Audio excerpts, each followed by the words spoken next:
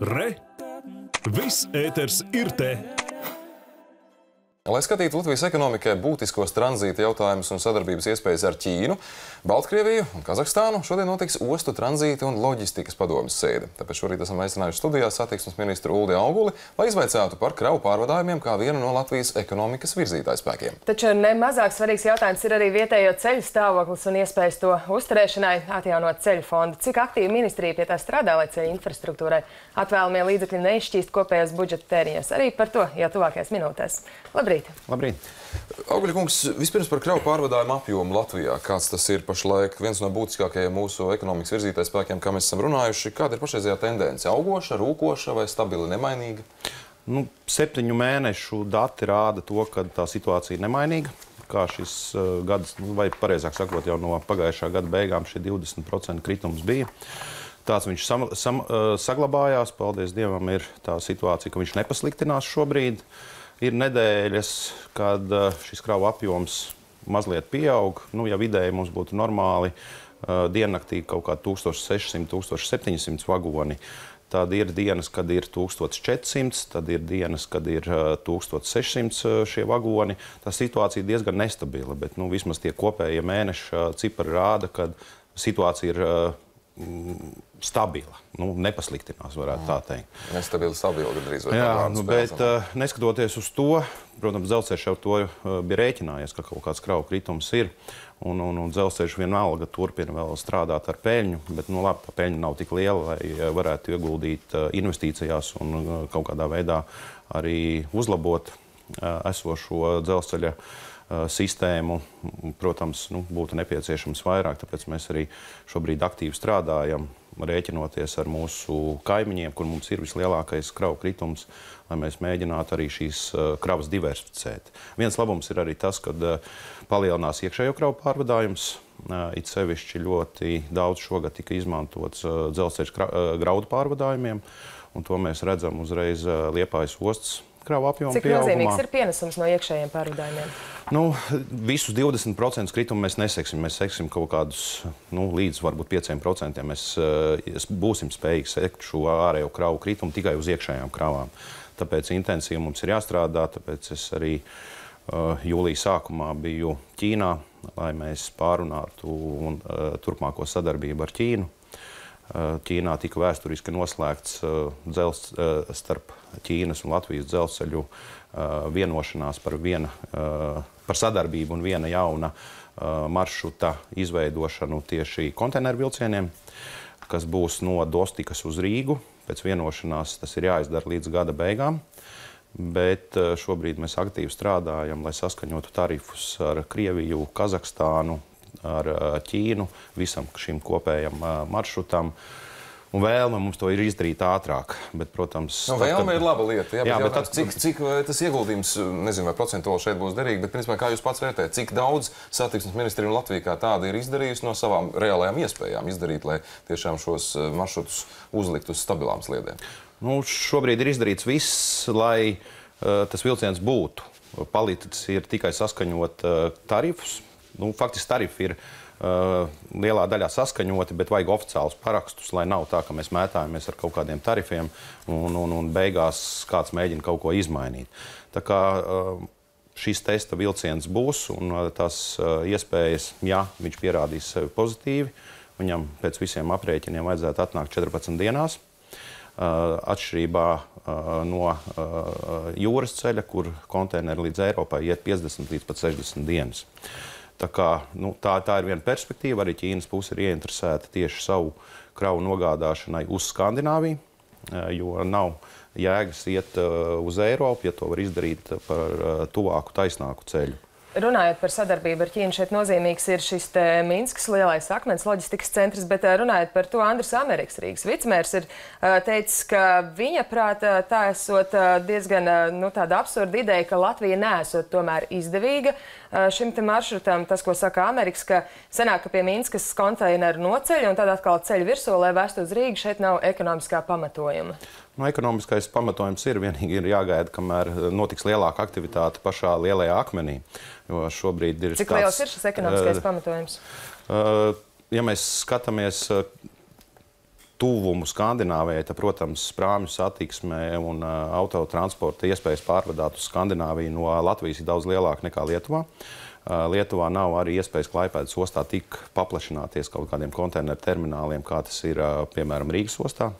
Izmantojot visu to potenciālu, kas ir Rīgas ostā, gan uh, jaunais Krievsalas uh, projekts, gan uh, kopumā brīvās teritorijas vairāk kā 450 hektāri, kas ir uh, Rīgas ostā, kas pretēji Klaipēdas ostai nav tādas iespējas. Nu, viņiem ir tādā gadījumā jā, jāpaplašinās nu, jau kaut kādā jāiet kaut kur jūrā iekšā. Šim gan ir izskanējis, ka lietuviešiem ir izdevies nu, veiksmīgāk risināt šīs sarunas, ka viņi ir paspējuši nu, pirmie pa tām durvīm ieiet. Sarun, sarunas ir daudz un dažādas, bet tur ir daudz blakus apstākļi, uz ko un kādā veidā panākt tarifus. Tāpēc es arī. Nu, tik... Geogrāfiskais novietojums ir Latvijas pluss, bet vai mums ir vēl kaut kādi no pašu prasmēm izrietoši plusi, nevis tikai no geogrāfiskā novietojuma? Gan, gan arī dzel... ir, ir gan prasmes mūsu mm, termināliem, pārkraušanā, gan arī kravu drošumā.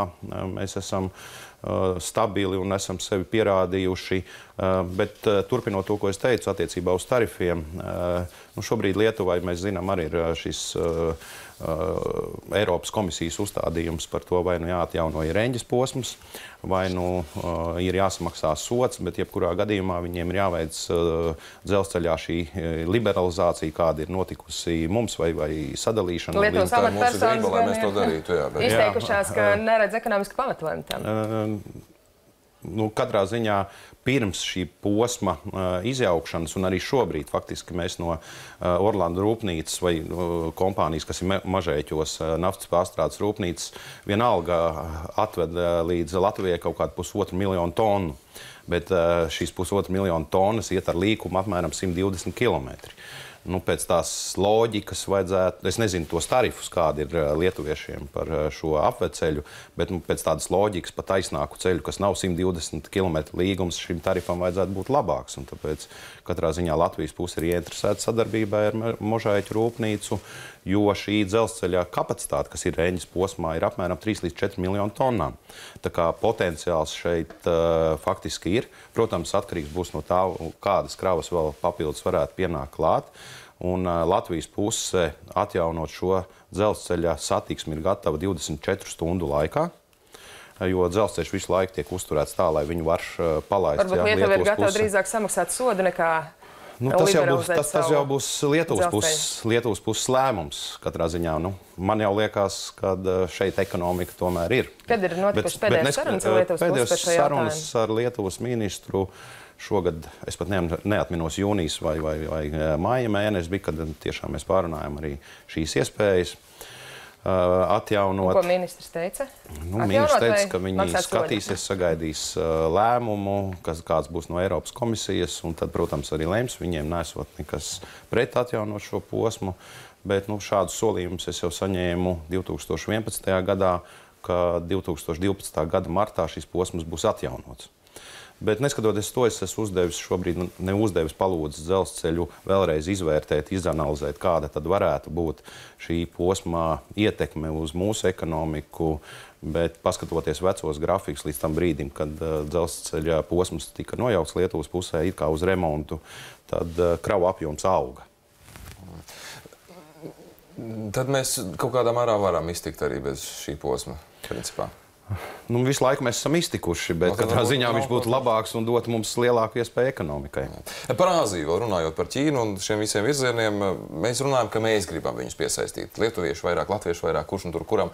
Kā ir ar pašiem Āzijas partneriem? Cik viņi ir ieinteresēti sadarbībā ar Latviju? Vai viņi ir šurp aicināmi, velkami, motivējami, vai arī paši no tā nosacīt laužas šajā virzienā? Nu, neviens, uh ne investors, ne sadarbības partneris pie robežas mums nestāv un negaida, kad uh, mēs kaut kādā veidā uh, ļausim viņam šeit ienākt. Protams, ir jābrauc pakaļ, ir uh, jārunā, ir jārada šī interese, jāparāda, kādas ir mūsu iespējas, lai tiešām otra puse arī būtu ieinteresēta. Kas ir galvenais paveiktais un vēl nepaveiktais? Nu, pirmais paveiktais, manuprāt, kā jau teicu, vēsturiskais šis nolīgums starp Ķīnas un Latvijas dzelzceļu, kāds līdz šim nav bijis sadarbību. Uh, Plus tam, esot man Ķīnā, es parafēju arī sadarbības līgumu starp uh, Latviju un Ķīnu uh, tranzīta loģistikas investīciju uh, jomā.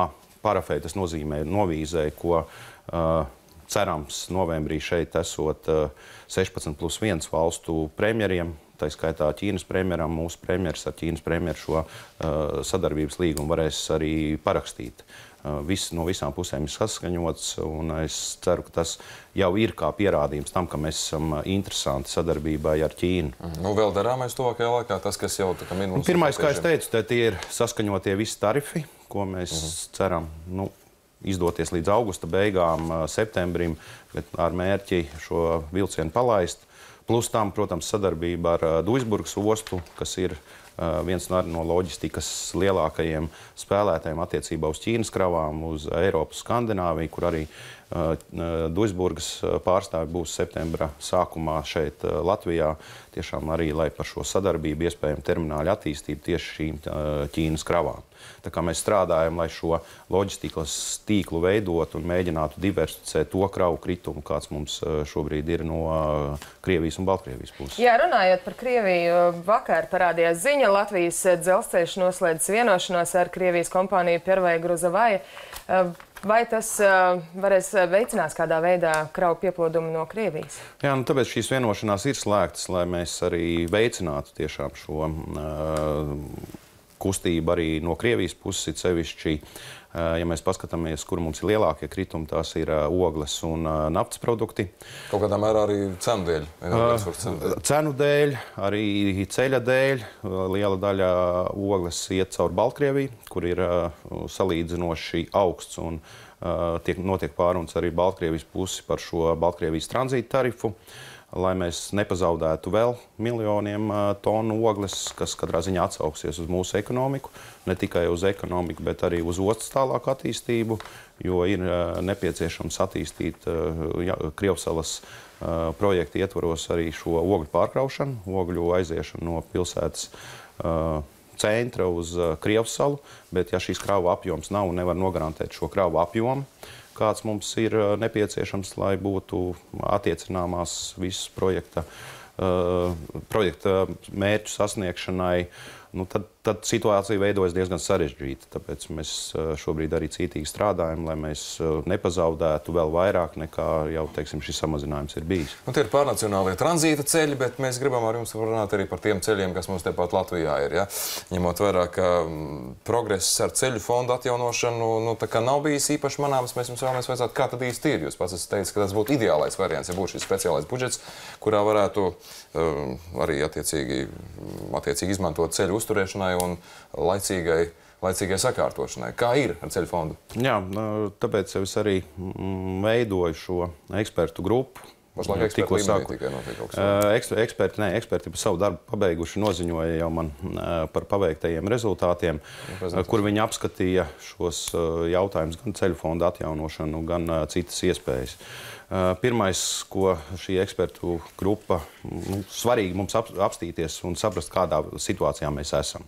Tas, ka mums ir skaidrs, kāda inventarizācijas veikts valsts ceļiem, valsts tiltiem, uh, ir veikta inventarizācija pašvaldību uh, tiltiem, jāveic ir padziļināta šī pašvaldību ceļu inventarizācija, plus arī komersantu ceļi, lai mēs uzliktu to situāciju. Nu, bildi nezinu, no augšas un, un, un padziļināt šo bildi. Jo mums ir posmi, kur ir valsts ceļš, kurš pāriet pašvaldības ceļā vai tālāk komersanta ceļā. Nu, vienreiz mums ir jāsakārto pirmā kārtā šis, šis, šī ceļa, jā, kurš, kurš ir kam īpašnieks. Nu, nav mums tur jādara pa posmiņiem. jautājums ir, kur Nākot, jā, bet tā, tā, tā, tas ir viens punkts, no, kas, kas mums ir jāaiziet, jo valstī tāds 25 uh, gadu laikā nav Neviens nav iedomājies to izdarīt. Jā, nu šobrīd mēs ar mērķi 17. gadā to Uh, izdarīsim. Uh, nākšais, ko eksperti apskatīja, jā, ideālais, protams, ir šis ceļu fonds. Jo tās valstis, kas savā laikā arī ir atteikušās uh, no šāda veida finansējuma, kā mums jau bija savā laikā, nu, ir atgriezušās pie šāda veida finansējuma atpakaļ.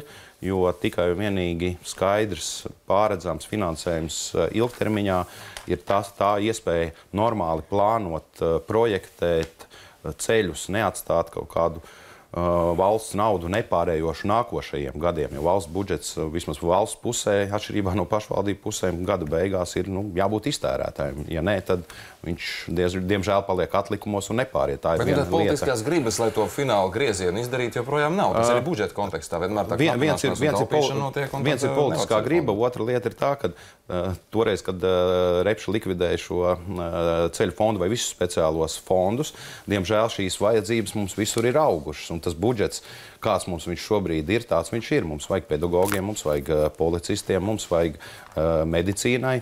Bet nu, nepaliek nekādas starpiņas tajā valsts budžetā attiecībā uz ceļiem. Labi, nākošo gadu atbilstoši arī ekspertu vienam no punktiem, kad kaut pa 5% iet paaugstinājumu akcijas nodoklim.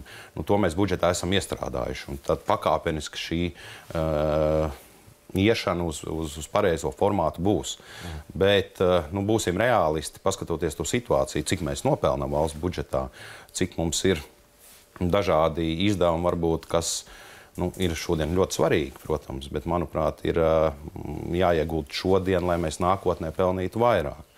Un tāpēc, ja mēs nevaram, nu, labi, nesaucam ceļu fondus, ja viņam kādam, kādam nepatīk vai speciālais budžets, bet sakārtojam to, ka šis finansējums, kas nāk no ceļiem, akcijas nodoklis, viņiete un ceļu nodoklis, ka viņš tiešām atgriežas Nu, atpakaļ skaidrs, ka ceļos. tā vēl būs jāstrādā. Nu, Pirmām kārtām man politiski būs jā, jāstrādā, lai pārliecinātu, ka šogad, šodienas ieguldījumi mums uh, nesīs nākotnē. Cik gadus prasīs tas? apmēram? Piecus, septiņus, desmit? Uh, ir kaut kritiskais moments mums ir uh, 2019. gads, kad mums pabeidzās lielākā daļa Eiropas uh, fondu finansējumu.